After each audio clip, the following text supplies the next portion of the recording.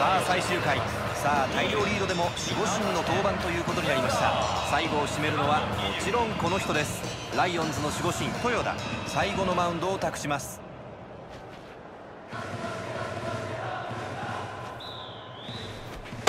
初球は際どいところに来ました。ストライクです。これは手が出ないか。ノーボールツーストライク。変化球空振り。まず1つアウトを取りました。バッターボックスには代打の日岡。さあ西さんなんとかここは意地を見せたいですね。当然ベンチもそれを期待してるでしょうからね。そうですね。打ちました。これはどうか？ボールを拾ってワンアウトランナー一塁となりました。打順は1番に帰ります。バッター荻野。先ほどの打席最後は見逃し三振に倒れています。さっきは最後うまく裏をかいた感じでしたよね。うんそうですねヒットでランナーを一塁に置いています。入れましたファールボール。